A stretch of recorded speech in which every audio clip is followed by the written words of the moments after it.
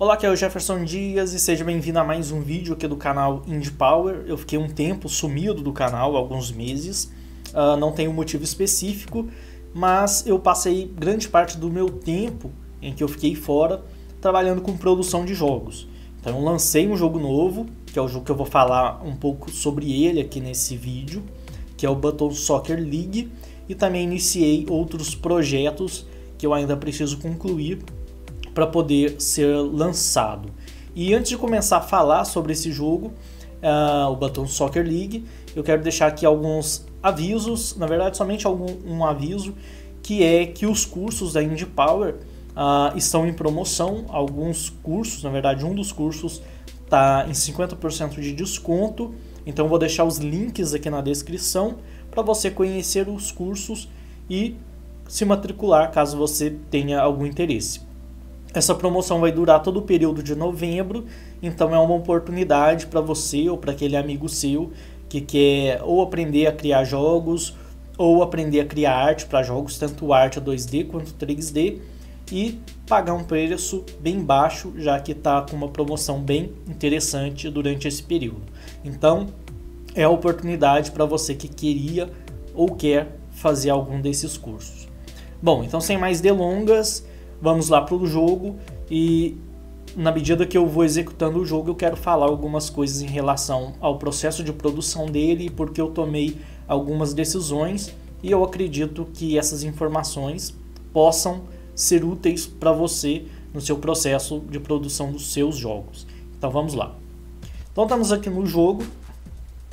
O jogo é um simulador, simulador não, é um jogo de futebol de botão virtual que foi adaptado às regras do, do, do futebol de botão real, que tem ali 11 jogadores, 11 botões para cada jogador, um, um, número X, que é um número grande de toques é, de movimentos por jogador.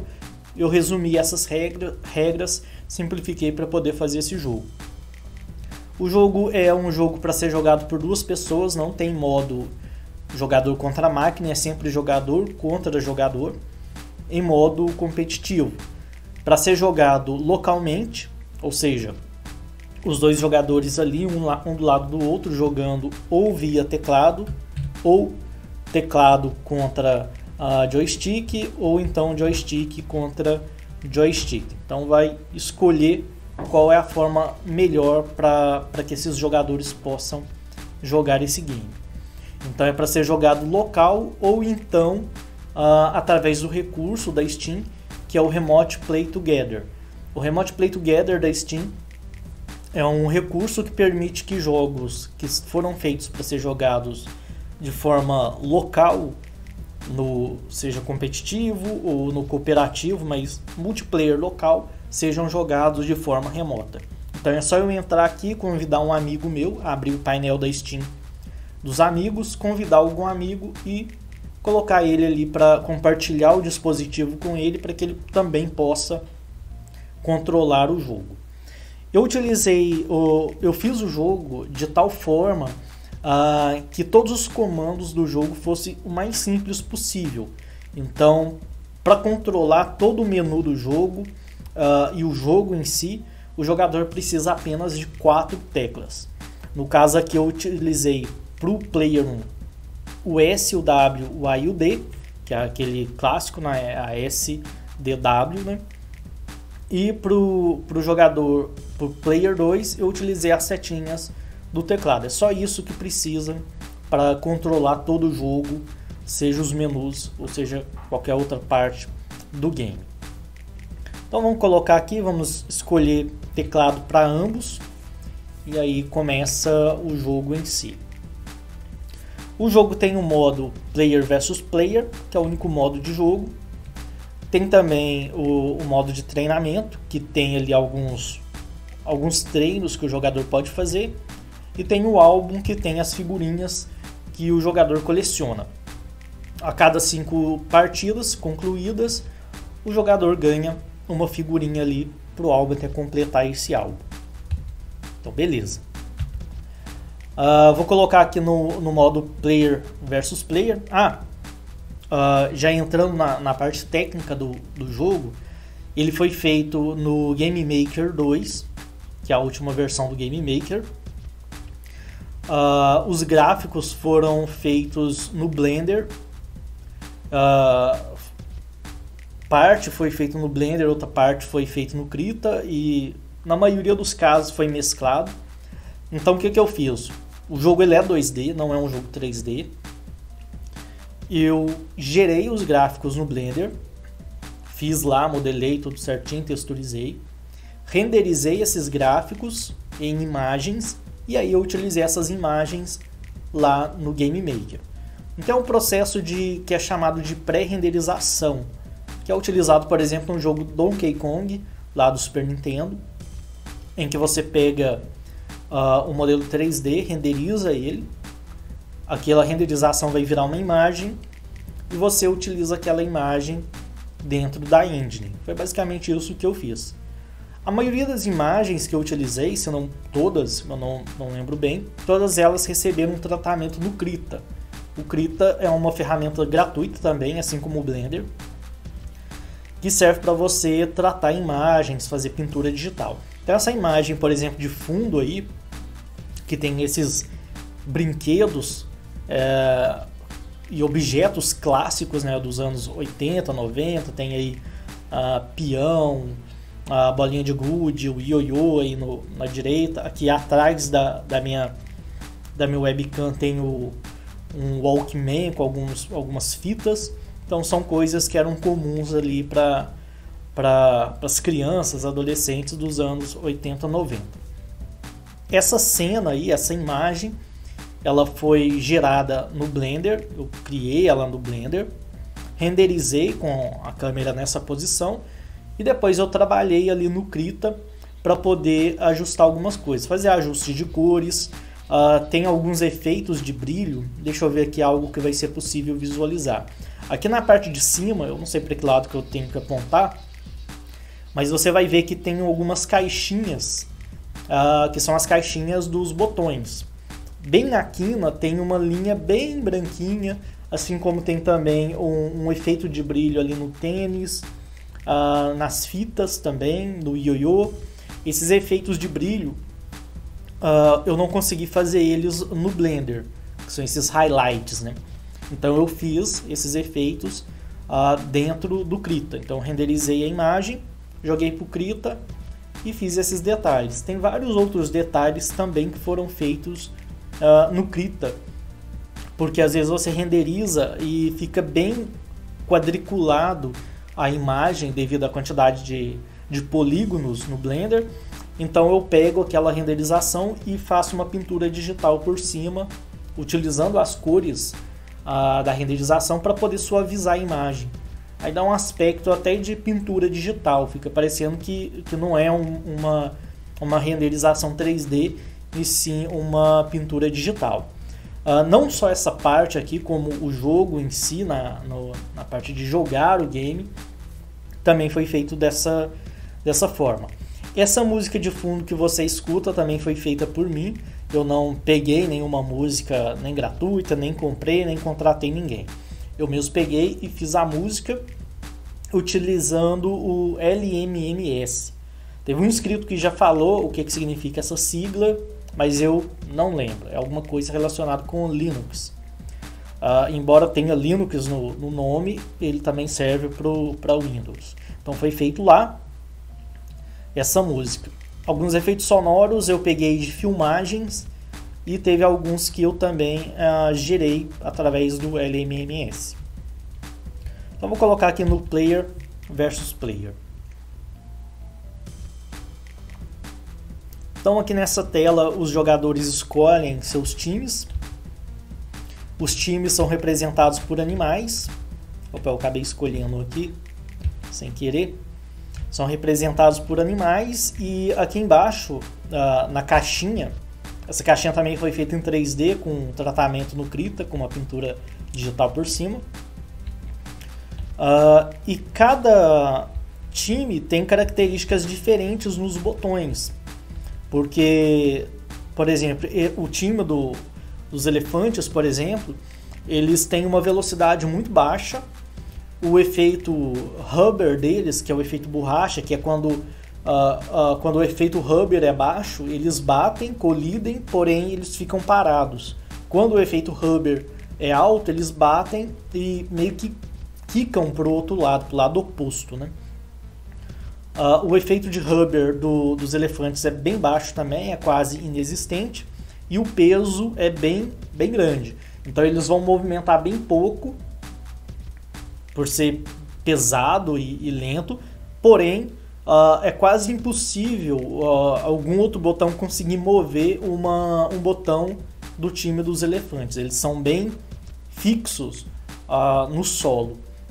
Então é um time, por exemplo, que é bom para jogar na defensiva. Você fazer um jogo onde você vai defender mais e fazer menos ataques, porém ataques mais diretos. Você meio que obriga o seu jogador jogar todos os as peças do time dele para o seu campo, aí você utiliza, por exemplo, um ou dois dos seus botões para poder fazer um ataque. É, geralmente é um jogo mais lento e mais defensivo.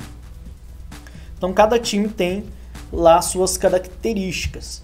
E todas as características desses times foram inspirados no animal que representa aquele time. E eu escolhi animal, na verdade eu não tenho um motivo específico por ter feito os times baseados em, em animais.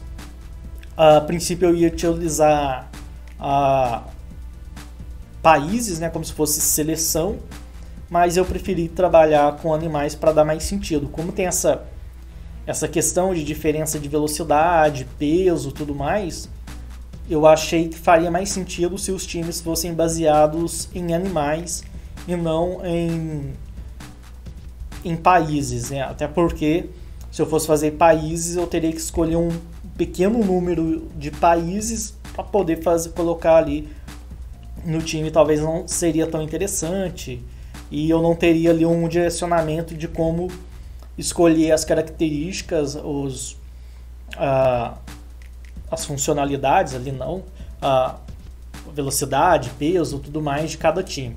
Quando você trabalha nesse parâmetro de utilizar, por exemplo, animais, fica mais fácil de você fazer. Por exemplo, os elefantes são mais pesados e lentos, enquanto que os leopardos, obviamente, são mais leves e mais rápidos. E por aí vai. Então vou escolher aqui alguns. Uh, vou escolher os leopardos aqui pro para o player 1 e escolher os Lions para o player 2. Depois aqui tem a formação do time, que os jogadores escolhem. São quatro formações, se eu não me engano. Isso, quatro formações. Escolhi essa formação, vou, vou manter essas aqui mesmo. E aqui tem o tempo de jogo essa, esse cronômetro que também foi feito no Krita. Eu peguei uma imagem de referência de cronômetro, então não tirei da minha cabeça. E baseado nessa imagem eu fiz essa, essa arte aí desse cronômetro uh, por pintura digital. Vou colocar aqui 3 minutos. Uh, acredito que vai ser suficiente aqui para mostrar uh, o jogo. Então tá aí o jogo. Esse fundo aqui de madeira, ele é aleatório. Então, às vezes é de madeira, às vezes é um campo de grama, às vezes é terra e por aí vai. Em cima tem a HUD, o meu tempo ali de jogo está acabando, então tem vou mover essa peça aqui. Aí depois ele reseta o tempo. Eu tenho dois toques para fazer. Cada jogador movimenta duas vezes uh, o seu time. E aí eu posso escolher qual botão eu vou movimentar. Aquela barrinha que fica ao redor do botão, ela representa a força que eu vou colocar no botão. Então, eu posso colocar menos força, ele vai andar menos. Vou colocar mais forças, ele vai se movimentar com maior intensidade, movimentar mais. Acabou fazendo um gol contra, isso vai aparecer na estatística final do jogo. Sempre que é feito um gol, uh, a vez de jogo passa pro, pro time que recebeu o gol, né, que tomou o gol, ou no caso aqui foi o Lions, né? Deixa eu movimentar aqui a minha peça. E os times voltam para a posição original. Esse recurso visual todo aqui foi feito tudo em 3D. Tanto os botões, uh, o campo, para dar esse realismo a mais, né? parecer de fato com, com objetos. Esse aqui também vai fazer um gol contra.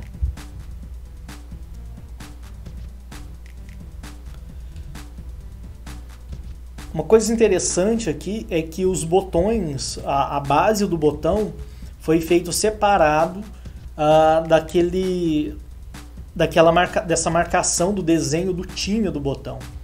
Cada time tem um, um grafismo diferente.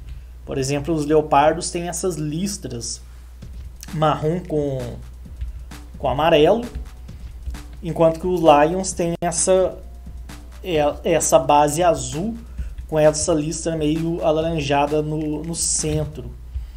E esse elemento visual é diferente, é, é, um elemento separado, é um sprite separado do, do botão em si, da parte de plástico do botão. Eu fiz isso porque se você observar o botão, ele está meio que em perspectiva. A parte de baixo dele, do, da quina, você consegue ver mais do que a parte de cima.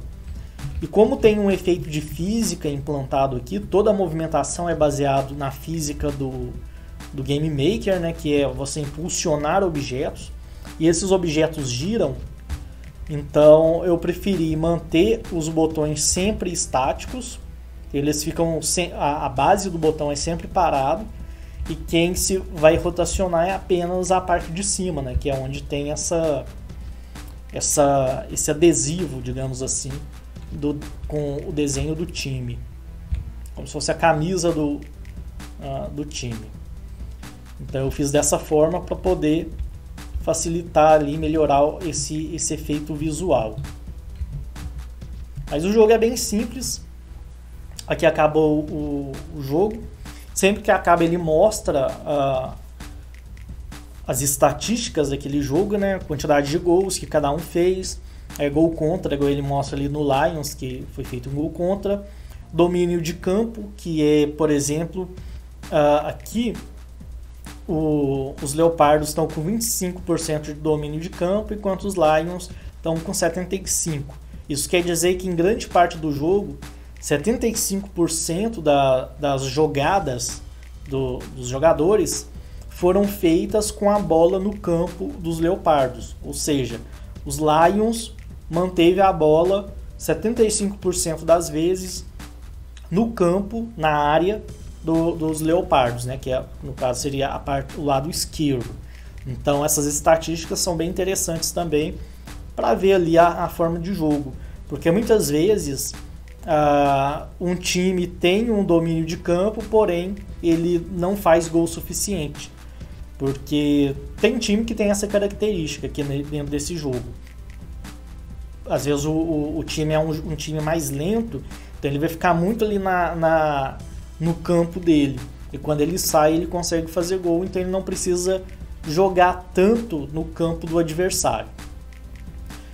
Bom, então é isso aí. É, o jogo não tem é um jogo simples, porém bem divertido para ser jogado ali com os amigos, reunir os amigos para fazer uma, uma jogatina de futebol de botão, uh, seja presencialmente ou à distância, né? Porque com esse recurso do Play Together, você consegue jogar com seus amigos, mesmo que eles não estejam ali junto com, com você. Então é, uma, é uma, um recurso bem interessante para esse tipo de jogo.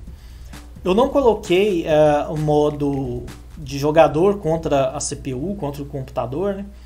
pelo fato de que, como é um jogo que envolve não é só ação, mas também estratégia, é muito complicado, porque você tem uh, quatro botões, que são como se fossem os, os jogadores, e uma variável muito grande de, situ uma, de situações que podem interferir na maneira que o jogador deveria jogar, que no caso do, do computador deveria jogar. Então a programação seria muito complexa para ser feito de forma que realmente representasse um desafio para o jogador. Porque o, o, ser humano consegue ver a situação do jogo e pensar, eu vou utilizar tal botão, vou colocar ele ali na defensiva vou utilizar outro botão para mandar a bola para tal posição para facilitar na, na próxima jogada. Então o ser humano consegue pensar isso. Agora, programar isso de tal forma que a máquina, com base no posicionamento dos botões dela, com base no, e também com base no posicionamento dos botões do adversário, ela consiga tomar uma decisão, é muito complicado, porque é decisão do, do, do botão que você vai utilizar, uh, ah, para onde que você vai mandar o botão, se é direto na bola ou se vai mandar no, nos cantos para ele bater no canto e depois rebater na bola. Então é muito complicado fazer isso. É possível fazer, é. Só que, primeiro, vai dar muito trabalho e a chance de ficar ruim é muito grande. Porque dá para fazer, mas fazer bem feito é muito difícil. Então eu preferi manter é, o jogo só no player versus player, sem o, o jogar contra a máquina, do que colocar um jogar contra a máquina mal feito que o pessoal não vai gostar. Então é melhor você tirar o recurso do que você colocar e o pessoal não gostar daquele recurso e ele não servir para nada, né? Ah, vou mostrar aqui também o modo de treino. Aqui você escolhe o time, né, que você vai utilizar para o treino, e aí ele tem os tipos uh, de treinamento que você pode fazer, né, que são situações de jogo. Eu peguei essa situação aqui. Aí você tem uma chance apenas para poder marcar o gol. Ali eu consegui de primeira passar por esse esse canto aqui. Essa aqui eu acho que é mais difícil. Esse aí já não entrou. Aí outro modelo de campo também, que é o campo por de grama. Campo de terra. É tudo randômico, você não, não escolhe. E aí são vários treinos que você pode, caso não tiver ninguém para você jogar contra, você pode brincar aqui nesse treinamento e treinar para quando você for jogar contra algum amigo seu, você tá mais bem preparado. A minha ideia uh, desse jogo é futuramente fazer alguns torneios, tanto para promover o jogo quanto também para integrar os jogadores. Porque às vezes o jogador não tem ali tantas pessoas para ele poder convidar então, os torneios, os campeonatos, acaba sendo uma oportunidade de quem gosta do jogo, gosta desse tipo de jogo, possa uh, uh, entrar em contato com outras pessoas, ter a oportunidade de poder contatar outros para poder jogar esse jogo, né? E competir e quem sabe ganhar um prêmio que seja interessante. Então, o meu objetivo é no futuro fazer alguns torneios com premiações. Então esse é o jogo, Button Soccer League. Eu vou deixar o link dele aí na descrição. Provavelmente ele vai estar na promoção, que eu pretendo colocar é, ele com algum desconto. Então se você tiver interesse, adquira ele, deixa uma review positiva também, porque ajuda bastante uh, o jogo ali dentro da Steam. Bom, então é isso aí. Se você gostou desse vídeo, deixa o seu like, compartilhe com seus amigos, se inscreva no canal se é a sua primeira vez aqui uh, nesse, nesse tipo de conteúdo. E não deixe de conhecer os cursos que eu vou deixar aí os links na descrição. Todos eles vão estar em promoção durante novembro todo. Então aproveite essa oportunidade.